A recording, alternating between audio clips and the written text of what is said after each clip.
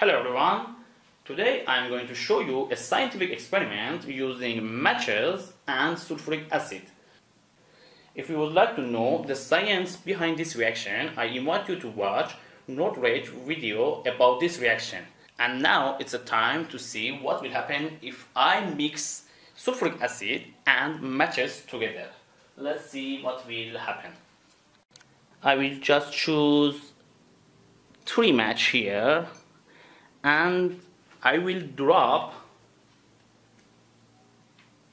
some sulfuric acid on top of these matches. Just see a little bit.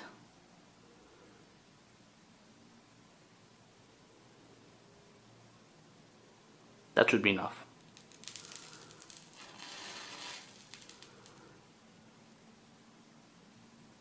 One more drop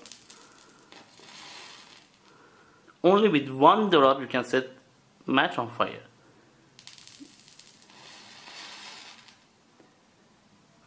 If even your matches are wet this reaction can happen. Here we have some matches and here is the water. I just soak inside the water. So completely wet now. And I just use one drop just wait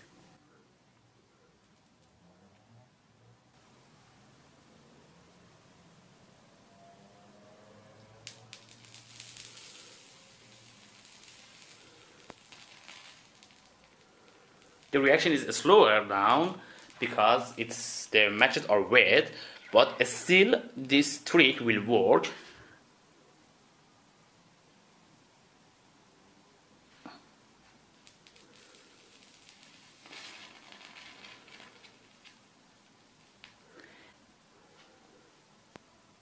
I hope you like this video as well and comment below tell me what do you think about this reaction I made a, a, small chain reaction here and I'm going to set this chain reaction on fire by using one drop of sulfuric acid.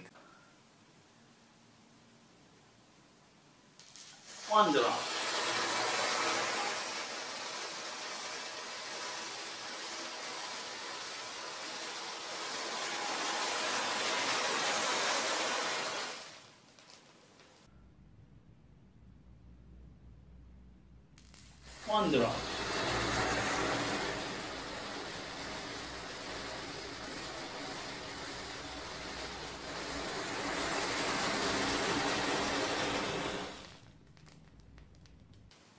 Wow, that was quite fun.